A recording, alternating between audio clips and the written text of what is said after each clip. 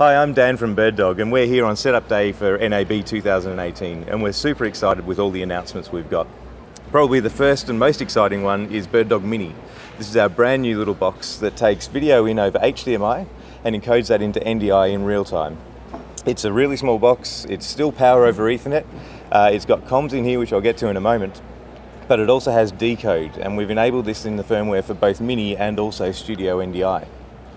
So with this box, we can plug it into a network and you can either put it on top of a camera, say a DSLR, it's a nice small box to be mounted on there, or it can also be mounted via a VESA mount onto the back of a screen as a receiver.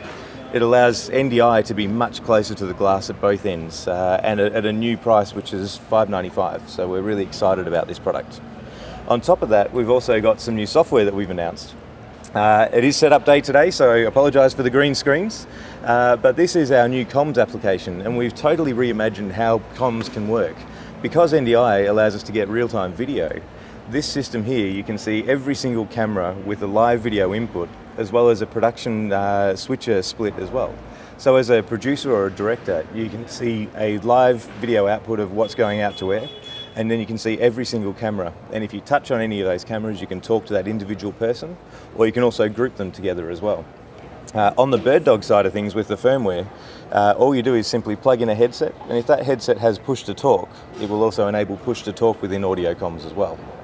So we think this is just taking audio comms and video production to the next level by integrating everything in one cable think about it, you have a HDMI coming in, Ethernet going out to your uh, network, and that's all you need. With that, you get video, you get comms, you get return feed with decode. Uh, you also get power over Ethernet as well. So one box gives you everything that you need for a live production. You don't need capture cards, you don't need other things. Uh, it's just a single box on a network.